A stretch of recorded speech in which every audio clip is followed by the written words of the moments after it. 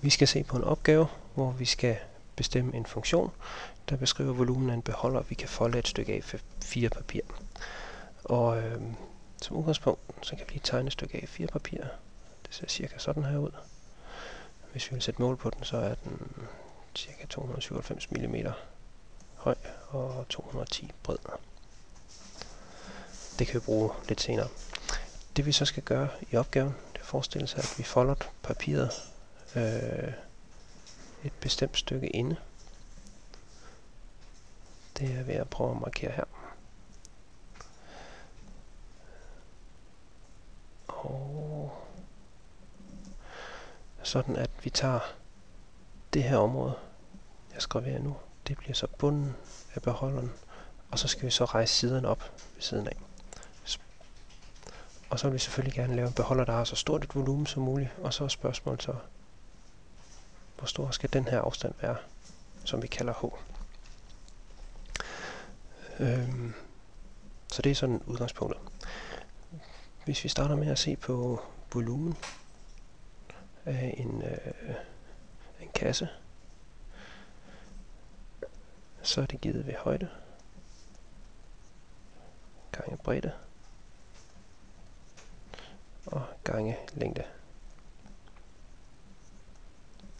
Og så kan vi prøve at se, om vi kan fylde de rigtige værdier ind her. Højden, det er det stykke, vi folder op her. Så det er bare H. Og så skal vi så have ganget bredden på. Og øh, den bredde, der er tilbage, det er, at vi har først... Vi kan lige prøve at tegne den op herover. Hele det her stykke, det er papirbredden.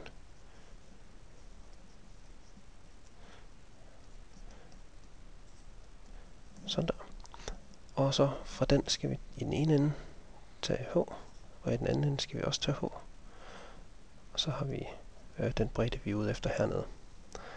Så det er papir. Ups. Bredde. Minus 2H. Og tilsvarende kan vi finde ud af, at længden, det er også papirlængde.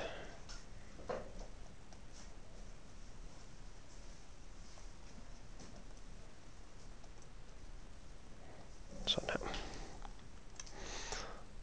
Jeg tager lige den her og flytter.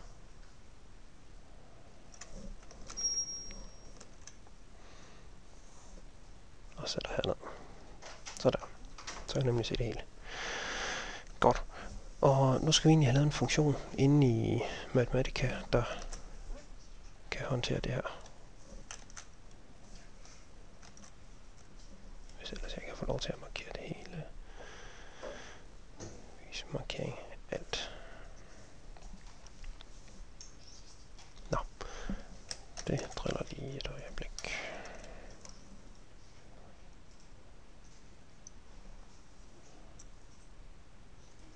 Sådan. Så kan jeg få lov til at tegne igen. Så det vi skal have lavet inde i Mathematica, det er, at vi skal give funktionen, eller øh, give funktionen et navn.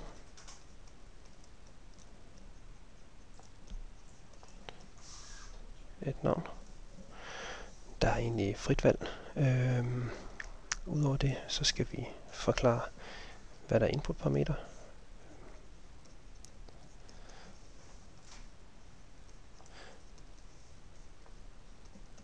Og så definere funktionen.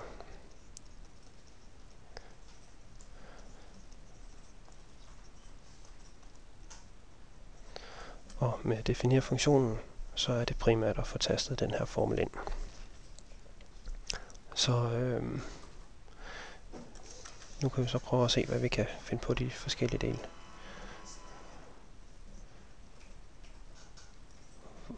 Volume, general.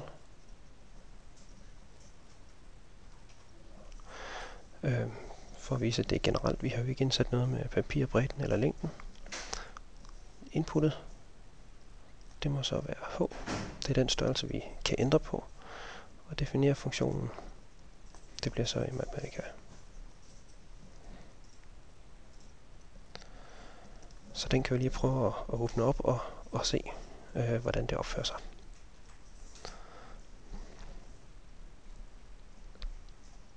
Så den er på vej her.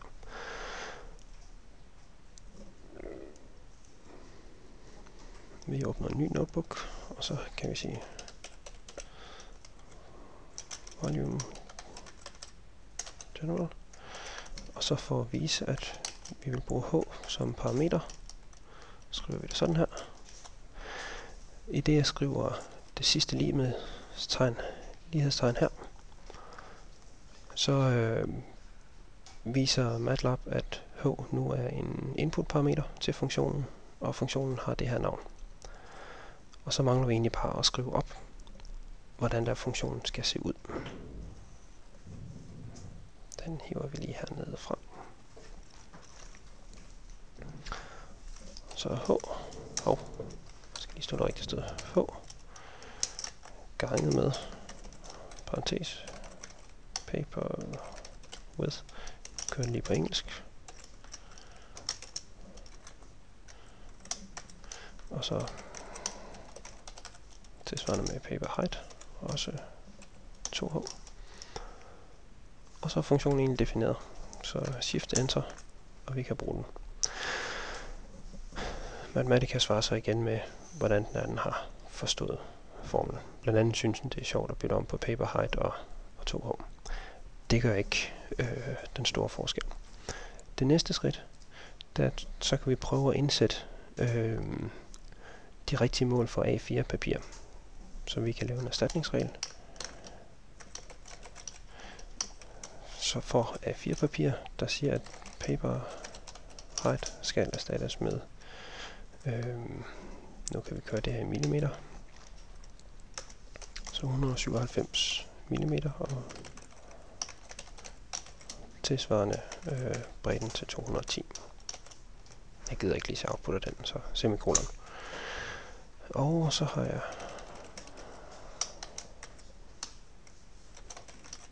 så kan jeg sige, at volumen af et A4-papir, det skal være lige med eller nu laver jeg så en ny funktion, volumen A4 papir, så er som er det generelle udtryk, vi har lavet før. Og så skal jeg bruge en erstatningsregel for at fylde de her værdier ind for A4-papiret. Sådan her. Og så spytter den funktion ud, eller viser udtrykket for funktionen, at øh, nu har vi sat en bredde og en længde af papiret ind, eller højde. Og så kan vi prøve at se, hvor, hvordan det opfører sig.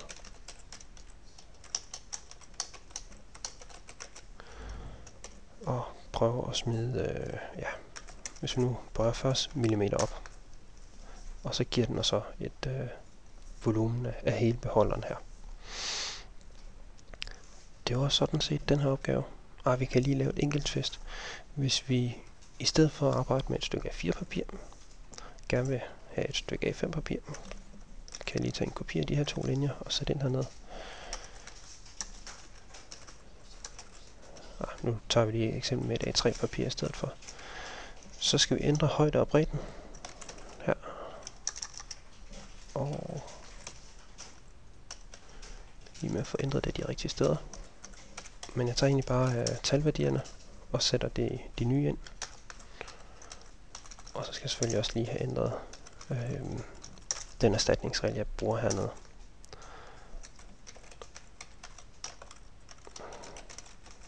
Og så kan vi prøve at lave samme beregning, hvis vi følger, folder 40 mm op på et A3-papir. Og der havde jeg ikke stadig rigtigt, så vi prøver lige en gang til. Sådan der. Og vi kan så se, at volumet af et A3-papir hvis vi folder 40 mm op, det er over dobbelt så stort som volumet af et stykke A4 papir, hvor vi har gjort det samme. Men sådan her kan den her opgave løses.